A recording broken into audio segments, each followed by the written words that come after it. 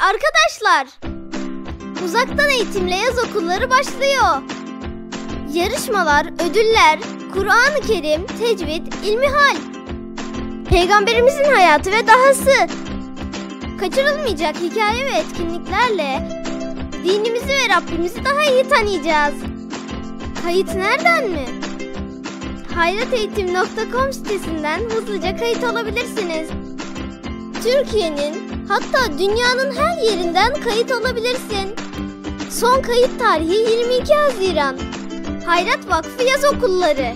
Hem öğren hem eğlen. Euzubillahimineşşeytanirracim. Bismillahirrahmanirrahim. Elhamdülillahi Rabbil alemin. Ve salatu ve selamu ala Resulina Muhammedin ve ala alihi ve sahbihi ve sellim. Allahümme salli ala seyyidina Muhammedin tıbbil kulubi ve devaiha ve afiyetil ebdani ve şifaiha ve nuril ebsari ve ziyaiha ve ala alihi ve sahbihi ve sellim. Allah'ın rahmeti, bereketi hepinizin, hepimizin üzerine olsun. Muhterem kardeşlerim, muhterem abilerim, bugünkü sohbetimizde alemlere rahmet olarak gönderilen Resul-i Ekrem Aleyhisselatü Vesselam Efendimizin bütün insanlığa, bütün aleme getirdiği rahmet düsturlarının yani İslamiyet'in ve Kur'an'ın rahmet düsturlarının bütün insanlığa inşallah Rahman hakim olacağının bir kısım emarelerini ve delillerini sizlerle okuyacağız inşallah.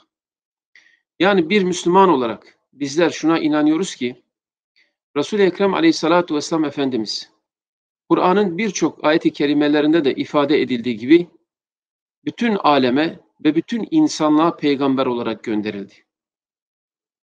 Yani diğer ümmetler gibi veya gönderilen peygamberler gibi sadece bir topluma, bir beldeye gönderilen bir peygamber değildir. Efendimiz Aleyhissalatu vesselam bütün insanlığa gönderilmiş bir peygamberdir. Evet, isterse bugün insanlık kabul etsin, ister etmesin. Resul-i Ekrem Aleyhisselatü Vesselam Efendimiz'den sonra kıyamete kadar artık hiçbir peygamber gelmeyecektir. O en son ve en büyük bir peygamberdir. Kur'an-ı Azimüşşan'da Cenab-ı Hak şöyle mealen ifade ediyorum ki bir ayet-i kerimede Ya Muhammed Aleyhisselatü Vesselam biz seni bütün insanlığa bir müjdeleyici ve bir uyarıcı olarak gönderdik. Ama maalesef insanların çoğu bunu bilmezler buyuruyor. Evet. Hakeza hepimizin ezberden bildiği وَمَا اَرْسَلْنَاكَ اِلَّا رَحْمَةً لِلْعَالَمِينَ buyuruyor Cenab-ı Hak. Biz seni alemlere rahmet olarak gönderdik. Dikkat edin, bütün alemlere rahmet olarak gönderdik buyuruyor. Demek ki sevgili Peygamberimiz Aleyhisselatü Vesselam bütün aleme, bütün insanlığa gönderilmiş bir peygamberdir. Onun için Peygamberimizin ümmeti ikiye ayrılır. Ona iman eden, ona itaat eden, onu kabul eden müminlerdir. İkincisi ise maalesef onu kabul etmeyenlerdir. Cenab-ı Hak onlara hidayet ihsan eylesin. Onun için bazı İslam alimleri yani ümmeti ikiye ayrılmışlar derken birisi ona iman edenler, ikincisi de o imana aday olanlardır buyurmuşlar. İşte iman eden bizlere Cenab-ı Hak gayret ihsan etsin ki yeryüzünde alemlere rahmet olarak gönderilen Resul-i Ekrem Aleyhisselatü Vesselam Efendimizin bu rahmet düsturlarını lisan-ı hal ve lisan-ı kaliyle bütün insanlığa ulaştırmak, bu hidayetten, bu hidayet nurlarından bütün insanlığın istifade etmesini sağlamaya çalışmak gayretini Rabbim bizlere nasip eylesin inşallah. Ve her bir mümin bununla mükelleftir. Resul-i Ekrem Aleyhisselatü Vesselam asr-ı saadete bir din ortaya koydu. İslamiyet. Ve eline Kur'an gibi bir hidayet nurlarını eline aldı ve insanlığa tebliğ etti. Onun için Üstad Bediüzzaman Hazretleri Resul-i Ekrem Aleyhisselatü Vesselam Efendimiz'i anlatırken yeryüzü bir mescit diyor. Mekke bir mihrap, Medine bir minber, bütün insanlığa ve bütün aleme ve nev-i beşere hitap ediyor ve dua ediyor ve istiyor der. Sevgili kardeşlerim, şimdi bunları ne için anlatıyorum? Resul-i Ekrem aleyhissalatü vesselam madem ki bütün insanlığın bir peygamberidir ve onun getirdiği din bütün insanlığa gelmiş bir dindir. Zira gene Kur'an-ı Azimüşşan'da Cenab-ı Hak El yevme ekmeltu lekum dinukum ve etmemtu aleykum ni'meti ve raditu lekumul İslamu dina buyuruyor. Ben bugün üzerinize dininizi tamamladım buyuruyor. Artık Resul-i Ekrem Aleyhisselatü Vesselam'dan sonra bir din gelmeyecek dedi. Ve bize yani ümmete yani insanlığa din olarak İslamiyet'i seçtim buyuruyor. Ve dininizi sizin üzerinize tamamladım buyuruyor. Evet bu şunu gösteriyor. İslamiyet'in nurları, Kur'an'ın hakikatleri inşallahurrahman kıyamet kopmadan önce mutlaka bütün insanlığa ulaşacak Allah'ın izniyle. Biz ümit varız bu noktada. Bunun olmaması Cenab-ı Hakk'ın hikmetinin, rahmetinin zıttına inkılabı demektir. Eğer İslamiyet bütün insanlığa hakim olmazsa, Resul-i Ekrem Aleyhisselatü Vesselam'ın getirdiği hidayet nurları bütün insanlığa ulaşmazsa, umumiyet itibariyle İslam hakim olmazsa, Cenab-ı Hakk'ın şu kainattaki maksadı ve gayesi yerine gelmemiş olacaktır. Çünkü kainatın yaratılışının, hılketinin gayesi ve hikmeti ancak İslam'ın ve Kur'an'ın nurlarının bütün insana hakim olmasıyla tahakkuk edecektir.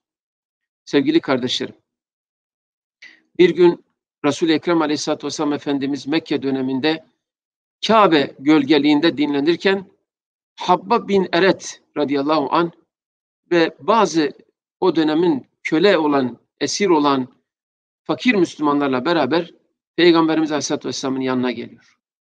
Selam verince Peygamberimiz Aleyhisselatü Vesselam doğrulmuş ve Hazreti Habbab bin Eret radıyallahu an şöyle diyor. Ya Resulallah bize dua etseniz de Allah bizi bu sıkıntılardan kurtarsın. Ne zamana kadar biz daha bu sıkıntıları çekmeye devam edeceğiz? Şimdi tabii muhterem kardeşlerim, şu anda oturup böyle güzel koltuklardan bu hakikatleri anlatmak veya dinlemek kolay. Ama o döneme bir geri gidin. Hayalen geri gidelim. O dönemin sıkıntılarını biraz tahayyül edelim. Her gün o Müslüman kardeşlerimizin çektikleri sıkıntılar ve ızdıraplar. Evet, fakir olan özellikle ve iman etmiş olan Müslümanların maruz kaldığı işkenceler. Yasir ailesi, annesinin şehit edilmesi, babasının şehit edilmesi, Bilal-i Habeşi gibi radıyallahu anh efendilerimizin maruz oldukları o sıkıntıları bir düşünün. İşte o da bir kölelikten gelme bir zat. Habba bin Eret. Diyor ki Ya Resulallah biz ne zaman bu sıkıntılardan kurtaracağız? Peygamberimiz aleyhissalatü vesselam ona şu müjdeyi veriyor.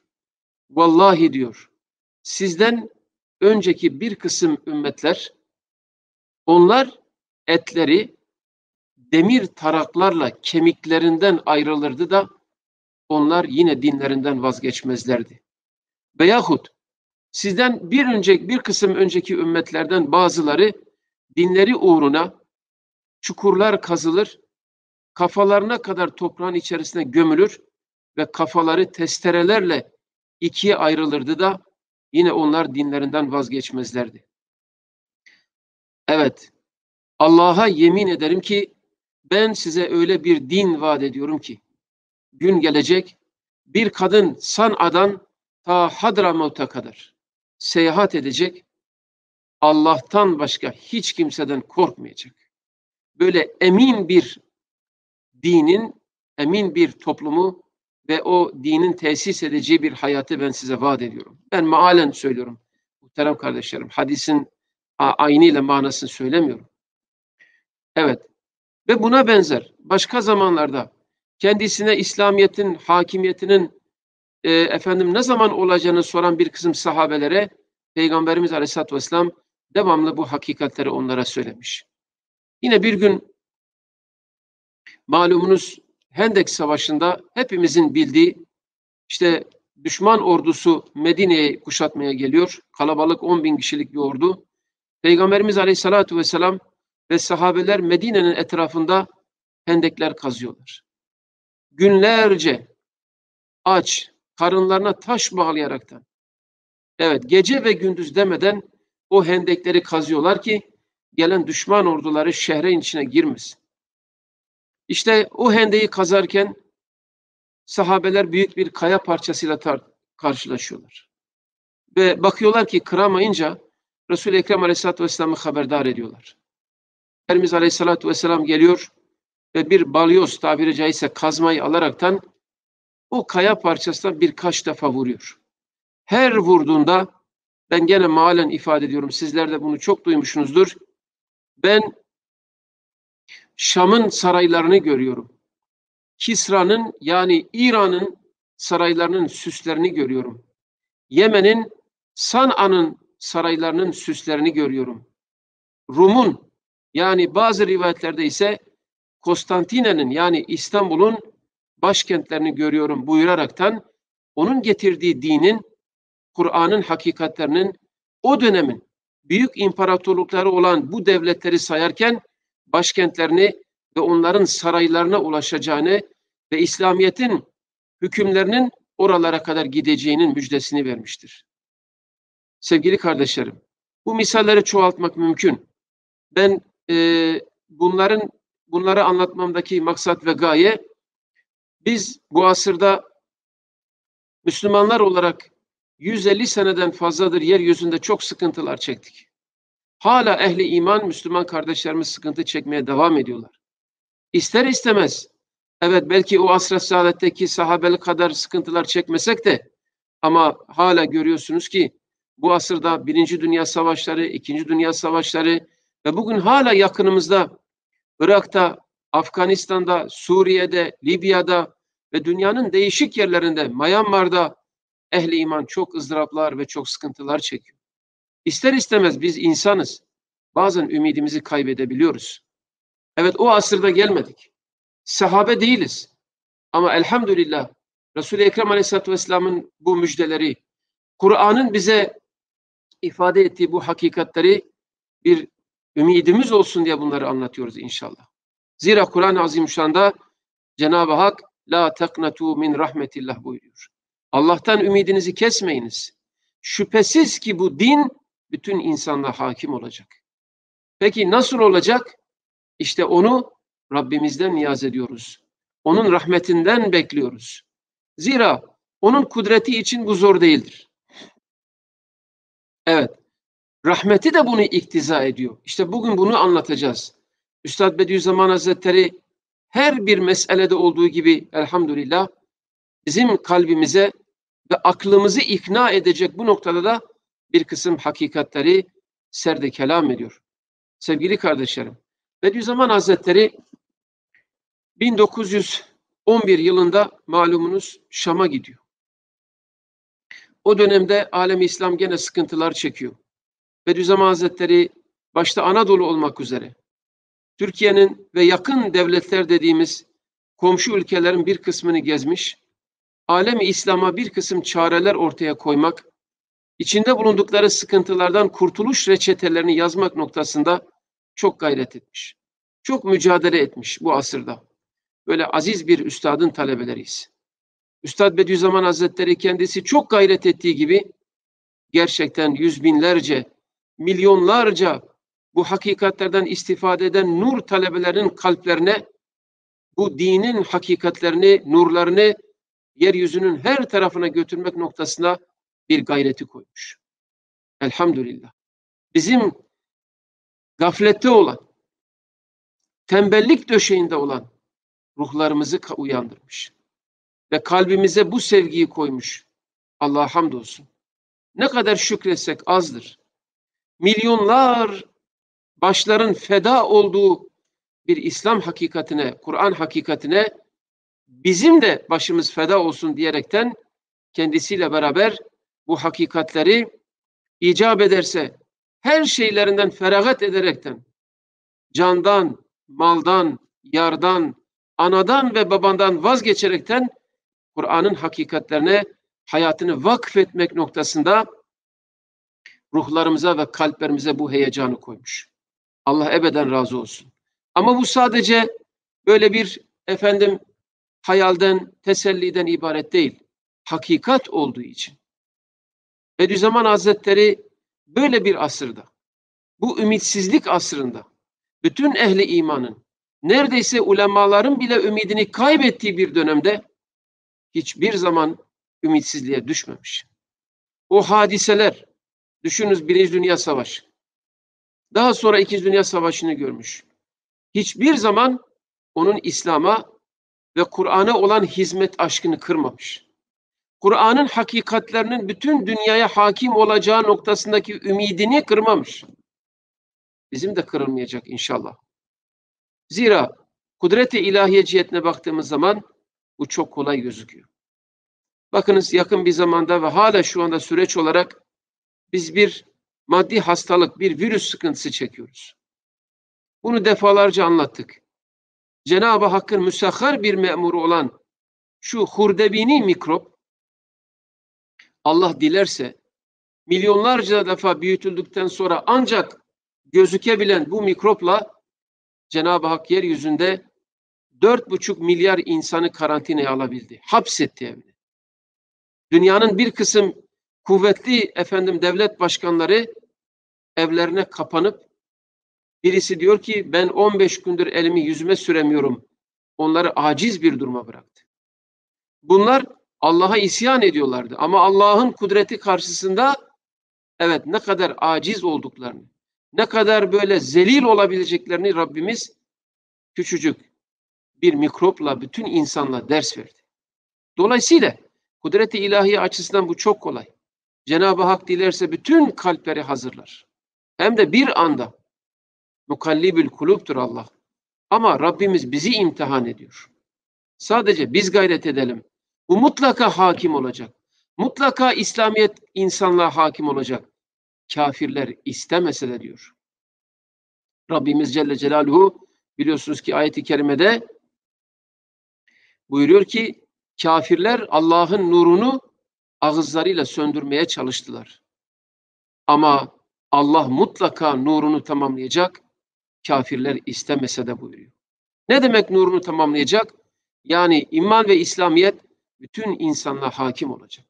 İşte Üstad Bediüzzaman Hazretleri gerek Kur'an-ı Azimüşşan'daki bu hakikatlerle gerek Resul-i Ekrem Aleyhisselatü Vesselam Efendimizin o hadis-i şeriflerde beyan buyurduğu İslamiyet'in dininin bütün insanlığa ulaşacağının müjdeleriyle o hutbe-i Şamiye dediğimiz Şam'da verdiği hutbede hakikatlerden bir tanesi de İslamiyet'in manen ve maddeten terakkiye müstahid olduğunu, yani maddi ve manevi terakki etmeye, bütün insanlığı kuşatmaya, hakim olmaya istidadı olduğunu bize ifade buyuruyor. Mesela bir kısım manevi ve maddi delillerini bize gösteriyor. O manevi delillerden bir tanesi ben onları kısaca gezeceğim. Bugün hikmeti ilahiye cihetiyle olan kısmı üzerinde duracağımız için bunu geçiyorum. Buyuruyor ki tarih bize şahittir ki Müslümanlar ne vakit Kur'an'ın hakikatlerini, İslamiyet'in hakikatlerine sımsıkı sarıldılar. Yani Kur'an'ın hakikatlerini yaşadılar. Allah onları aziz etti. Yeryüzüne hakim kıldı. İşte istikbale bak, geç, maziye bakınız. Bin yıl İslamiyet yeryüzüne hakim olmuş. Yedi kıtaya hakim olmuş. Resul-i Ekrem Aleyhisselatü Vesselam Efendimiz 23 senede tamamladı dini çok değil kardeşlerim. Bir asır sonra onun dininin hükümleri bir tarafta Fransa sınırlarına öbür tarafta Çin settine varıncaya kadar dünyanın büyük bir kıtasına hakim oldu. Evet ama bu hakimiyetle beraber İslamiyet'in nurları bütün insanlığa ulaşmadı. Ulaşamadı. Hikmeti ilahi şimdilik öyle iktiza etti. Belki bizler hakkıyla vazifemizi yapamadık. Bu ayrı. Evet, madem ki İslamiyet'in maddi ve manevi istidadı, yani bütün insanlığa ulaşacağının kabiliyeti vardır. Manen böyle, bu hakikatlere, bu terakkilere müstahittir. İşte onlardan bir tanesi böyle söylüyor üstadımız. Ve şöyle hakikati ifade ediyor. Eğer biz Ahlak-ı İslamiye'yi. Evet, İslamiyet'in ahlakını. Kur'an'ın bize emrettiği o ahlakı lisan-ı halimizle yaşarsak sair dinlerin tabileri evet efvacen efvacen yani cemaatlerle İslamiyet'e dehalet edecekler. Belki dünyanın bazı kıtaları diyor İslamiyet'e teslim olacaklar.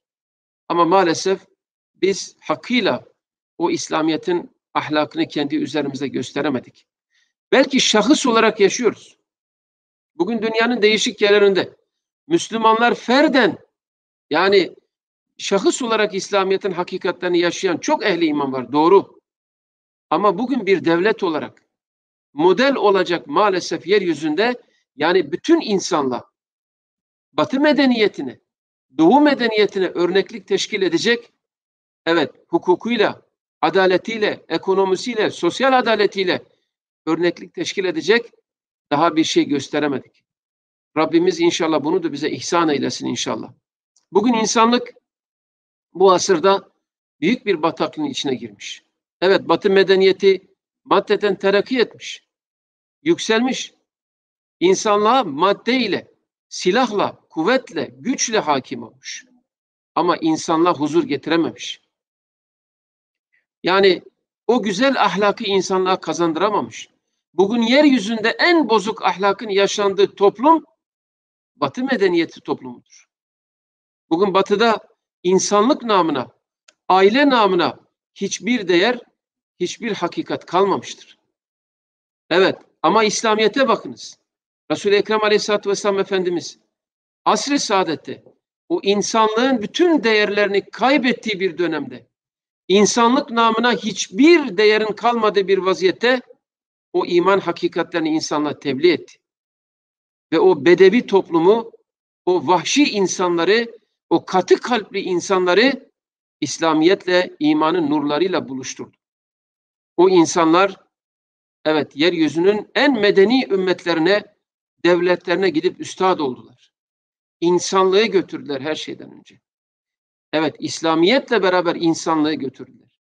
Her ne kadar İslam devletleri ordularla, kılıçla bir kısım ülkeleri fethetse de ama İslam dininin kalplere yerleşmesi kılıçla olmamıştır. O Kur'an'ın nurları ve o hakikatleri lisan-ı haliyle yaşayan o Müslümanların tebliğiyle olmuştur.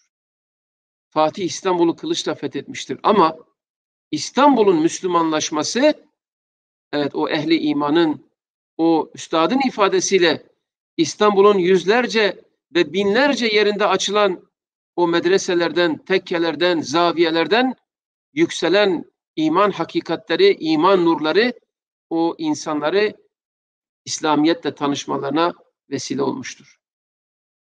Dolayısıyla biz bugün eğer insanlığa medeniyet olarak, toplum olarak, devlet olarak inşallah bir model ortaya koyabilirsek ki inşallah mutlaka Cenab-ı Hak bunu ihsan edecek. Üstelik bu millete ihsan edecek inşallah. Madem ki bu topraklardan bayrak bir zamanlar şey oldu, indi. İnşallah yeniden bayrak buralardan bütün insanlığın göklerine çekilecektir. Ve Cenab-ı Hak bunu en karibu zamanda bizlere ihsan eylesin. Hazreti Üstad o hutbe-i Şamiye'de Emevi Camisi'nde içinde 10 bin kişinin olduğu, yüzden fazla ulemanın olduğu o azim büyük cemaateki o döneme kıyas ederseniz nüfusu bu hakikatleri haykırdı. Ve Müslümanlara dedi ki Araplara, Türklere, Kürtlere ve bil umum Müslümanlara evet ümit var olunuz. Şu istikbal inkılabatı içerisinde en yüksek gür seda İslam'ın sadası olacaktır. Muhterem kardeşlerim, Bediüzzaman Hazretleri bu hutbe-i Şamiye'de üç cihetle bunu izah ediyor. Birincisi manevi cihet ile İslamiyet'in terakki edeceğini söylüyor. Buna kabiliyeti olduğunu söylüyor. Müsteid olduğunu söylüyor. Bunun bazılarını değişik derslerde biz zikrediyoruz. İkincisi maddi olarak İslamiyet'in e, ruhunda maddi olarak bu kuvvetlerin var olduğunu söylüyor. Evet bir yarım hikmet de diyor üstad yani üçüncü bir delil de hikmeti ilahiye cihetiyle Resul-i Ekrem Aleyhisselatü Vesselam'ın dininin bütün insanlığa hakim olacağını bize ifade ediyor. Asıl bugün üzerine durmak istediğim nokta burası. Yani bu cihet çok önemli hakikaten. Bu asır insanlar aklına hitap ediyor. Çünkü bu asrın kısmı ekserisi insanlar evet aklıyla muhakeme ediyorlar. Bu hakikatleri aklıyla tefekkür etmek istiyorlar. İkna olmak istiyorlar.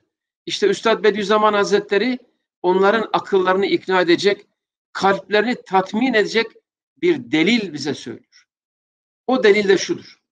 Diyor ki İslamiyet'in bütün insanlığa hakim olması lazım. Zira şu kainatın gidişatına diyor baktığımız zaman yani kainatın geneline, yeryüzüne baktığımız zaman Cenab-ı Hakk'ın şu kainattaki maksadı genel itibariyle hayır, hüsün ve kemalattır buyuruyor. Evet. Bir kısım cüz'i şerler olsa da bazen adaletsizlikler, bazı çirkinlikler, şerler olsa da ama bunlar bizatihi değildir. Kainatta, dünyada hakikat olan hayırdır.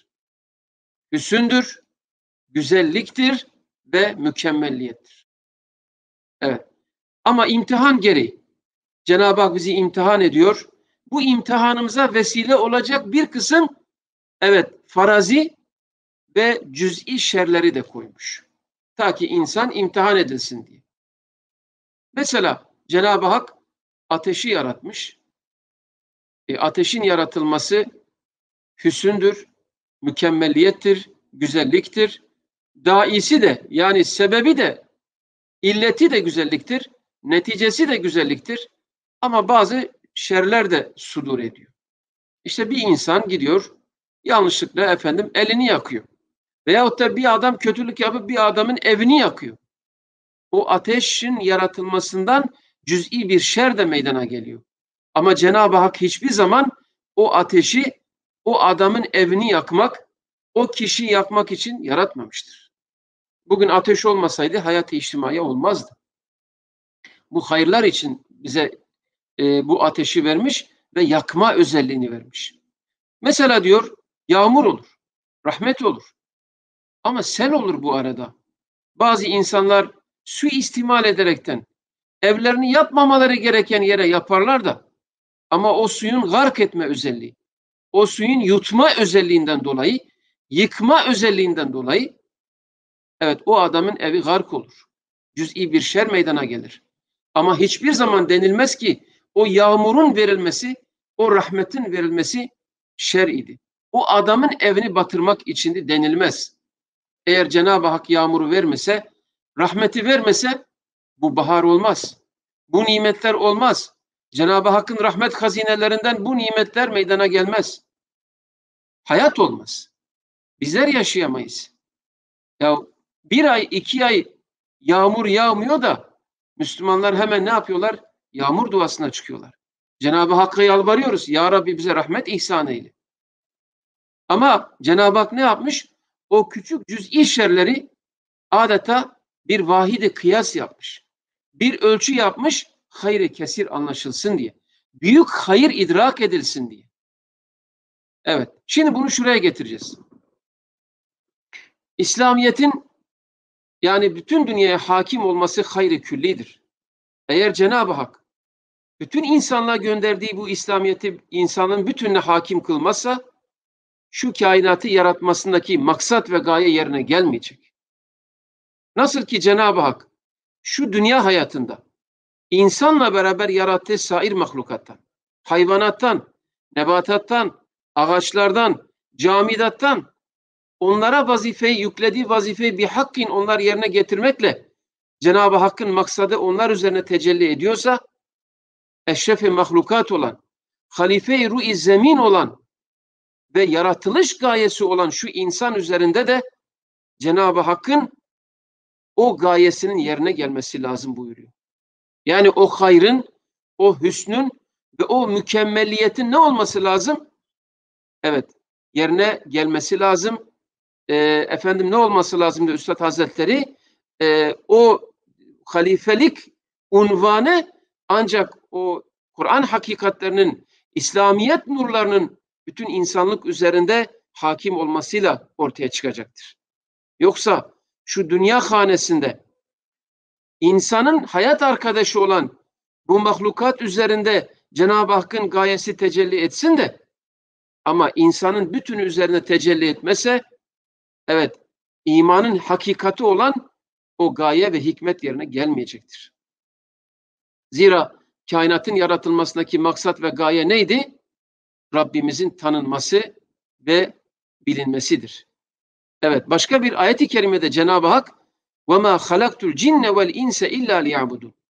Ben bütün insanları ve cinleri bana ibadet etsinler diye yarattım buyuruyor. Evet. Yani başka bir hadisi kutside sevgili Peygamberimiz Aleyhisselatü Vesselam evet Cenab-ı Hak buyuruyor ki ben kainatı yarattım istedim ki bilineyim. Bilinmek için kainatı yarattı. Yani onun hakikati olan iman için bunu yarattı. Peki insanlığın bütünü bu hakikati üzerinde tecelli etmezse Cenab-ı Hakk'ın maksat ve gayesi yerine gelmeyecek ve o eşrefi mahlukat olan halifelik unvanı, halifelik sıfatı ve o vazifesini yerine getirmemiş olacaktır. Peki şu ana kadar İslamiyet ekseriya diyor Üstad Bediüzzaman Hazretleri nüfus itibariyle insanlığın beşte birisine yeryüzünün en şaşalı dönemlerinde bile yarısına kadar hakimiyetini altına almış. Ama bütününü alamadı. Ama bu almayacak manasında değil. İslamiyet bütün insanlığa hakim olmayacak manasında değil. Kıyametten önce mutlaka Rabbimiz Celle Celaluhu Kur'an'ın ve hakikatlerini bütün insanlığa hakim kılacak. Evet, bizim buna bir defa iman etmemiz lazım. Rabbimiz böyle buyuruyor. Ve o dilerse istediği zaman bunu yapabilir. Yapmaması hikmetine zıttır. Eğer yapmazsa gayesi yerine gelmemiş olacak. Onun rahmetine zıttır. Rahmeti bunu iktiza ediyor. Hikmeti bunu iktiza ediyor ki Resul-i Ekrem Aleyhisselatü Vesselam'ın getirdiği nur bütün insanlığa ulaşsın. Evet. Ama bu nasıl olacak kısmına gelince elbette ki biz insanız. Biz bilmiyoruz. Resul-i Ekrem Aleyhisselatü Vesselam Efendimiz de belki bu işin yönteminin nasıl olacağını bazen Rabbimiz bildirmezse bilmemiş. Çünkü Allamül huyub olan Allah'tır. Allah nasıl yapacak kısmını biz ancak onun kudretine ve onun hikmetine havale ederiz. Ama biz şuna iman ediyoruz ki madem ki bu din haktır ve bu din bütün insanlığa gelmiştir ve Resul-i Ekrem Aleyhisselatü Vesselam bütün insanlığın peygamberidir. Öyleyse onun nuru, rahmet düsturları ancak bütün insanla hakim olmakla bu maksat ve gaye yerine gelecektir. Resul-i Ekrem Aleyhisselatü Vesselam'a kadar ümmet ümmet gelmiş. Hatta o ümmetlerin de içinde çoğu gelen peygamberlerine kısmı ekserisi iman etmemiş. Yani insanlıktan bu maksat hasıl olmamış. Peygamberimiz Aleyhisselatü Vesselam gelmiş. Bütün insanlığa peygamber olarak gelmiş. Getirdiği din bütün insanlığa e, rahmet düsturları olarak göndermiş. Ama bu düsturlar da bütün insanlığa ulaşamamış. Hatta bazen yeryüzünde insanlığın bu mükemmeliyetine, bu hayri külli olan vazifesine yakışmayacak çok manzaraları evet şahitlik yaptık. En yakın bir zamanda Birinci ve İkinci Dünya Savaşlarıyla gerçekten şu insanlığa hiç yakışmayan yeryüzünü zulümle doldurdular. Milyonlarca insanları katlettiler. Bu insanlığa yakışmaz. Bu vahşi tablo şu eşrefe mahlukat olan insanla yakışmıyor diyor Üstad Bediüzzaman Hazretleri. O insan o halifelik unvanını yapması lazım. Yani hayvanlardan, nebatattan, hatta melaikelerden bile üstün olduğunu ancak o külli ibadetiyle Kur'an nurlarının bütün insanla hakim olmasıyla ancak olabileceğini söylüyor. Yoksa Allah muhafaza eylesin. İzzet-i ilahiye dokunur. Rabbimiz Celle Celaluhu bütün insanlığın başına bir kıyameti koparırdı. Ama dikkat buyurunuz ki Üstad Bediüzzaman Hazretleri bu asrın başında gerek Hutbe-i Şamiye'de gerek Risale-i Nur'un değişik yerlerinde hep bize bu hakikati haykırıyor. İslamiyet bütün dünyaya hakim olacak. Bizim vazifemiz çalışmaktır. Bu noktada vazife-i ilahiye karışmamaktır. Biz onun bize emrettiği yolda cihad etmekle mükellefiz. Neticeyi Rabbimizden beklemek bizim imanımızın ve imanımızdan gelen teslimiyetimizin ve tevekkülümüzün bir esasıdır. Nasıl dünyevi noktada muvaffakiyetimiz esbaba tevessül edip onun neticesini Cenab-ı Hak'tan beklemektir. Uhrevi hizmetler noktasında da bu böyledir. Biz imtihan ediliyoruz. Allah bizi imtihan ediyor. Ve bize diyor ki, haydi bakalım sizden önceki milyonlarca fedakar insanlar bu Kur'an'ın nurları için hayatlarını feda ettiler. Başlarını feda ettiler. Siz de çalışınız. Ve insanlığa bu rahmet dusturlarını ulaştırınız. İşte sahabe efendilerimiz, sahabelerden sonra gelen tabi'in ve tebeüt tabi'in ve selef-i salihin ve bu asra gelinceye kadar mücahidin İslam bu Kur'an hakikatlerini yeryüzüne ulaştırmak, insanlığa götürmek için çok gayret ettiler. Onlar hiçbir zaman sadece o ülkeleri fethetmek ve o ülkelerin bir kısım efendim kazinelerine, paralarına, tarla takkelerine konmak için bunu yapmadılar. Onlar öyle bir ihtiyaçları da yoktu. Çin sınırlarında o sahabe efendilerimizin ne işi vardı? Himalaya eteklerinde kabri bulunan bir kısım sahabeler var. Bunlar İslamiyet'in nurunu götürmek için gittiler. Hicri 200. yüzyılda koca efendim binlerce adadan müteşekkil Endonezya'ya acaba hangi şartlarda Müslümanlar gittiler de o koca adayı Müslümanlaştırdılar? Neyle? Kılıçla değil. Evet, güzel ahlakla götürdüler. Ama tekrar ederek e, yavaş yavaş dersimi bitireceğim. Maalesef biz bu asırda Müslümanlar olarak umumi olarak söylüyorum tam bir iyi bir sınav veremedik. Yani işte görüyorsunuz İslam ülkelerindeki iç karışıklıklar, bir Müslümanın kendi Müslüman kardeşini çok özür diliyorum bir hayvan keser gibi kesmesi, bu tablolar, bombalar, şunlar, bunlar, hayat anarşizmi, evet diğer yeryüzünün değişik yerlerinde İslam'a bakan, oturduğu yerde o haberleri izleyen o, o insanlara biz o İslamiyet'in nurlarını hakkıyla tebliğ edemedik. Cenab-ı Hak o hüsnü İslamiyeyi, ahlaki Kur'aniyeyi üzerimizde tecelli ettirip bütün insanlığa bu hakikatleri ulaştırmak noktasında bizlere gayret ihsan eylesin inşallah. Resul-i Ekrem Aleyhisselatü Vesselam Efendimizin getirdiği, başlattığı bu mücadeleyi, evet, son hızla o yarışı başlatan sahabe efendilerimiz ve inşallah kıyametten önce bizlerle inşallah Cenab-ı Hak bu gayeyi yerine getirmek nasip eylesin.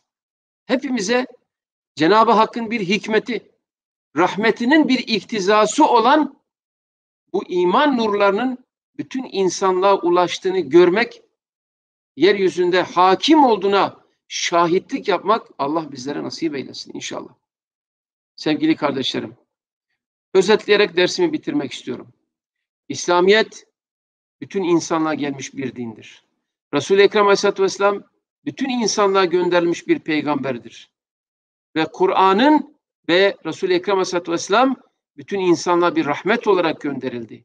Bu rahmetin tecellisi.